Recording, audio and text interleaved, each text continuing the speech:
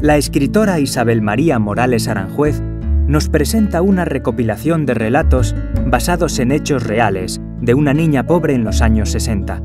Otros sobre la defensa de la homosexualidad y los desahuciados de la normalidad social, el lobo ibérico, el amor a la vida, a todos los animales, junto a poemas intercalados a una madre muerta, sortilegios de hadas, brujas marginadas, misteriosas alacenas y grillos mágicos. Ya a la venta en libreriacirculorrojo.com.